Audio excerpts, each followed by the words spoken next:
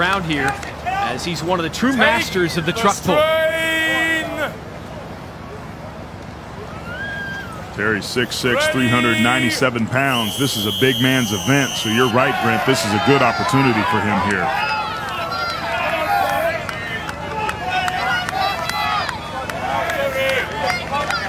Look at those big arms tugging on that rope as he methodically starts to drive that power plant of his lower body. He's very in line here. He's got to keep breathing to make sure he gives his muscles that much needed oxygen. About getting baked by the sun on black asphalt here. no question. He's a pretty clean-shaven Terry Hollands too. But impressively, Brent, he's got more momentum than even Dave Ostlund did. Time to beat 50.10, and he's going to shatter it. Terry Hollands into 43.35 and then the oxygen. And the Englishman